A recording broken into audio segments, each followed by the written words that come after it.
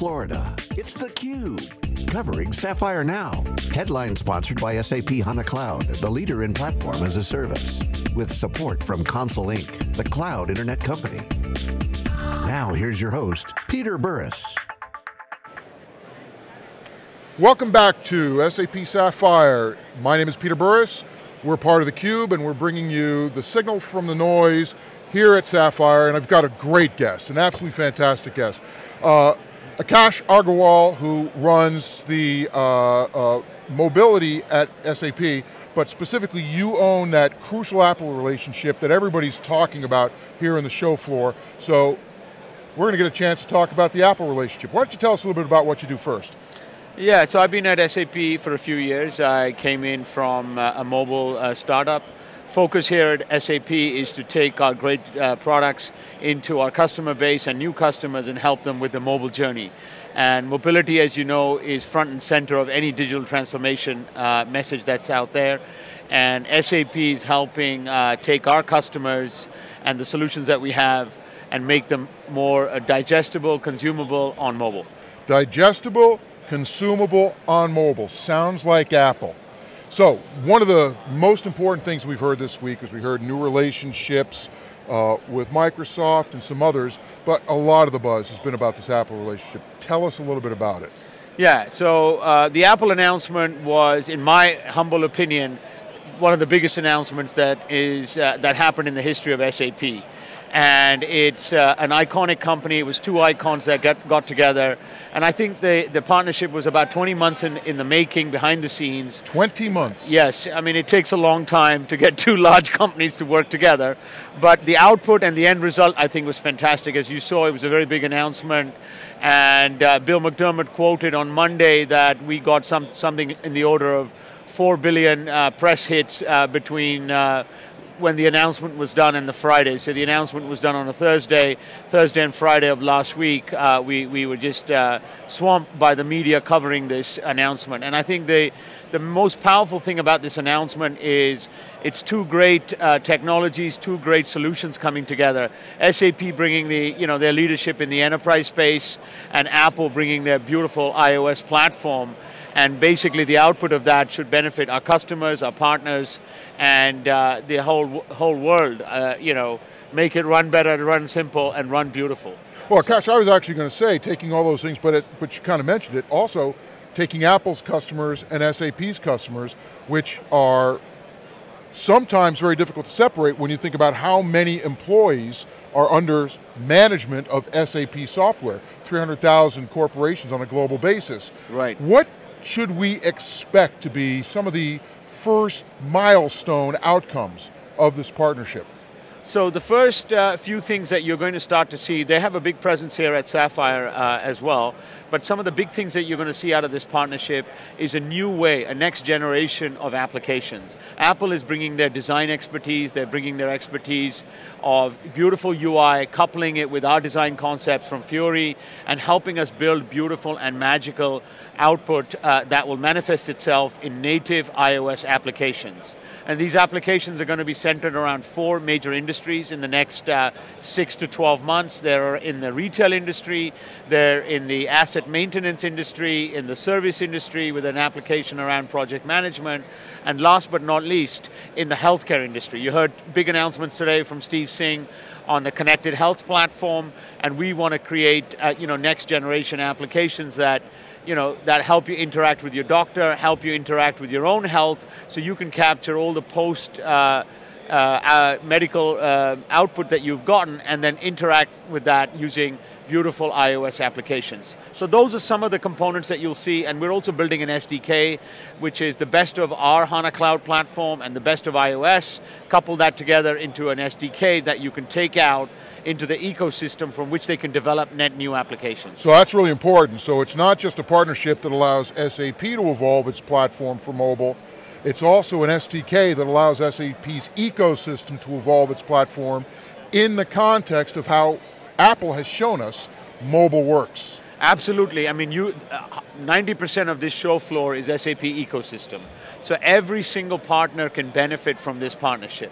People who build solutions on SAP, people who extend solutions, and people who help integrate and implement solutions. They can all benefit from this partnership. That's one. Number two, we have 2.5 million developers right now in our HANA Cloud platform. Immediately, all those developers will have access to this SDK from which they can build out beautiful iOS experiences. So that's one set of the ecosystem. Then the other set of the ecosystem is there are 11 million Apple developers out there that have been primarily focused on building consumer applications. And now they will have an opportunity to build applications in and around the SAP ecosystem. SAP has been traditionally a difficult platform to build around, and now with this partnership, with this SDK, those developers can build native, rich experiences uh, in the industry, in verticals, in horizontals that are leveraging mobility.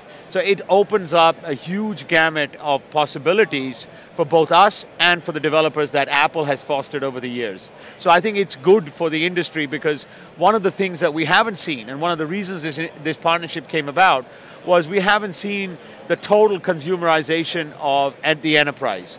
You know, you today are using these applications to interact with social media, with other applications for your own daily lives, but business and enterprise still has a long way to go. And hopefully this partnership will help bridge that gap in simplicity, in, in, in efficiency, and in design of making those applications seamless. So when you leave the office and you get home, or when you leave the home and you come to the office, there's really no difference in the way you interact with an application on a mobile phone. So the SAP ecosystem that's currently familiar with SAP and the development tooling and is now learning the HANA cloud platform stack, got a pretty good idea how you're going to get to them and bring them along. How are you going to get those 11 million Apple developers excited about now entering into a set of new enterprise relationships by utilizing what SAP can bring to them from a business opportunity and from, uh, as you said, change the world kind of perspective? Yeah, look, I think uh, developers are inherently uh, you know, difficult to kind of change. They're set in their ways. However, there are two, two, two ways we're going to be doing that. One, I think, is we're building a joint iOS SAP Academy. Okay. And that will take the best learnings from what we do with jointly with Apple in how we build these applications. Apple's going to co-author this academy, which will provide best practices on using this SDK, on building enterprise applications that incorporate the best design philosophies that we have from the enterprise and best design capabilities that Apple has. So I think this academy will be kind of chartered to, to make the message simple, digestible, and consumable by all developers. Now, let, me, let me stop you right there. Yeah. So when you say academy, you're really talking about a connected and coherent body of knowledge. You're not talking about just a place. So this will be online. exactly. Taught in schools. Absolutely. So there's going to be, you know, Apple has innovation and design centers, SAP has design centers and design thinking capabilities. We will bring this into physical locations, we will bring this into virtual locations, and we will market this at large in developer forums, in developer communities. There'll be people that, you know, for example, our SIs, they have armies of people that know SAP today, that we want to create an army of people that know both SAP mobility and they also know HANA cloud platform and they know iOS. Bring them all together so they can kind of build the applications. And I think, look, there's a lot of money to be made if you build great applications that drive transformation, that drive value, I think the developers will find a great way to monetize. Now, if you look on the App Store, if you're a consumer app developer today, you know, the chances of getting that hit app are small but the chance of building an enterprise app that creates value for you know, a dozen customers in a certain industry could be very, very valuable. And so I think they, they, the, the, there are two attractions, as I mentioned before. One is obviously being able to make the technology easy, make the technology consumable by developers so they can kind of start using it, take the friction out of the process. And number two, they've got to then see an economic incentive for, to, to do that. And I think the economic incentive is pretty clear. Uh, Apple is very, very serious about the enterprise. They've got a twenty-five yeah, billion. I was going to ask you about that. Yeah, they have a $25 billion business right now, and it's, it's something that they've taken very seriously. They realize that iPads and iOS devices today have sort of creeped in from the BYOD movement, but they want to see you know, IT buy these devices, give them to their employees for running their business, for running, making decisions. And I think application uh, vendors like SAP can help you know, be a catalyst towards that kind of mission. And you know, it's very hard to bet against Apple. It's a company that sort of came from nowhere and became the leading mobile brand in the world. I think the same opportunity awaits them in the enterprise, and I think they're taking a very deliberate approach in the enterprise of not trying to go out there alone. Enterprise is a complex market, and there are certain vendors like SAP that have been in the market for 40 years, understand the customer problems, understand how business is, is, is running and using software, but the transformation is, is upon us. And you know, we go to market across 25 verticals. Each vertical is getting transformed in a major way by technology, by mobility, by the advent of the cloud, by mobility, and I think this applications, uh, the applications that we develop together and this partnership will help catalyze that transformation. Yeah, especially since Apple, uh, as you said, you know, going to be a couple of different SDKs that will uh, be able to be come together for developers, but Apple's also shown historically that uh, or revealed new ways to create great software and what the software should look like and how it should behave and the new gestures that are possible. And you're going to be able to bring all that into the ecosystem. Yeah, the partnership is a very, very deep one and it is to share joint roadmaps uh, with what they're doing in iOS, how we're looking at the world. So let me give you an example. So uh, Apple has many APIs that they expose today to various developers, HealthKit, CareKit, they have the, you know, the 3D touch system for basically being able to put your thumb onto the, uh, you know, the on and on device on the home screen on the Apple devi iOS devices and that takes you in into the application and authenticates you. Think about that authentication, not only just authenticating you right on the device, but authenticating you inside the enterprise, knowing that when Akash comes in, he has authority for signing an expense report up to $10,000 or $20,000. So it's not just him getting into the device, but it then picks up his role and then gives him the opportunity to look at uh, all the purchase orders, all the expenses that he can do. So that's just an example of an integration that can go you know, much deeper than just a device. So Apple has a number of technologies, I think, that will become very relevant as we integrate with them in our applications for the enterprise. So let's so talk the camera, the, the, the, the, maps, you know, you want to schedule, a, uh, you know, uh, someone delivering, you know, uh, cokes to various bottlers and various suppliers, they can kind of optimize that route leveraging the mapping technology, leveraging the GPS technology, the signals that are coming in on a real-time basis into the application. So let's talk about let's talk about how your customers may be able to behave. Not your IT customers narrowly, but your over your aggregate businesses. And let me see, let me test this on you. So historically, IT has wanted a very stable SAP platform. Adding, you've done a phenomenal job of adding new function, functionality to it, capability, uh, SuccessFactors, and others. Um, meanwhile, your employee, the, the customers of those IT organizations, the employees, and increasingly external folks want to be able to uh, translate their expertise and the knowledge that they have of a problem into software as fast as they possibly can because they want to be able to solve the problems that are proximate to the actual specifics of an event. Follow me? Yeah, yeah. All right, so is this, am I going to be in a position where I can get an SAP compliant application in the App Store that someone with domain knowledge of a problem can go down and say, this will solve the problem, and it's going to keep my IT organization happy because it's SAP compliant? Is that what we're talking about? You know, I think you know that that will depend on company by company. I, I can't make a generic statement on behalf of all the all the CIOs out there. But certainly, you know, we're taking the friction away from the process. And one of the friction, uh, one of the major elements of the friction has been the ability to get data out of SAP.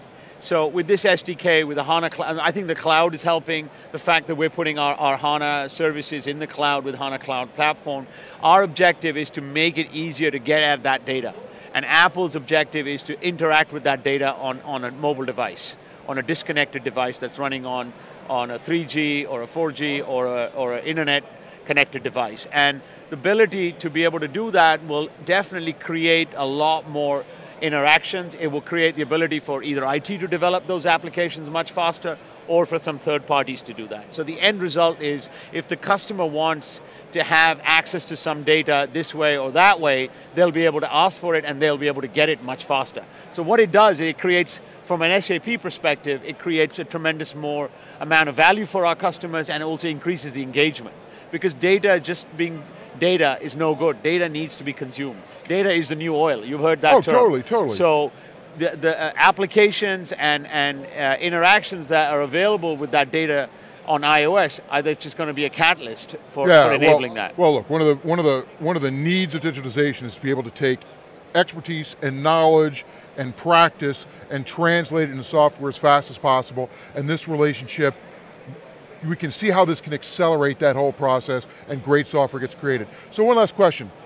What's the buzz, other than the Apple uh, SAP relationship, what's the buzz that you're getting from the show floor?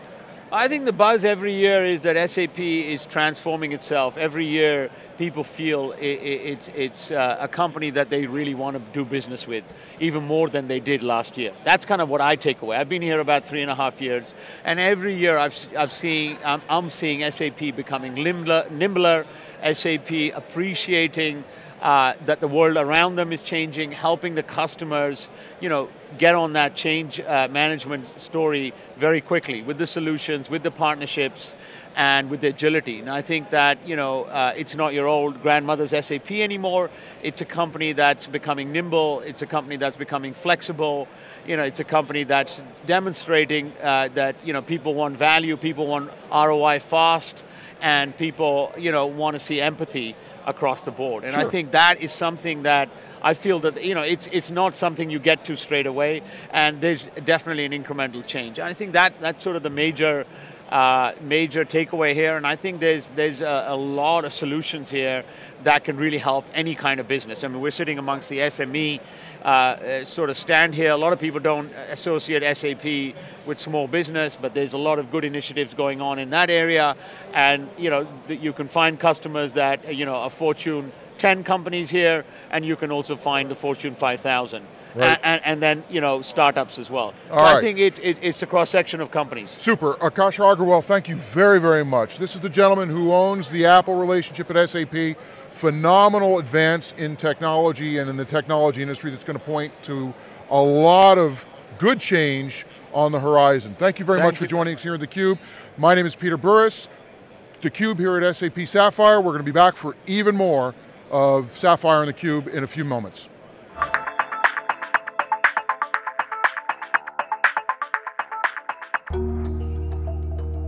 There'll be millions of people in the near future that are, want to be involved in their own personal well-being and, and wellness.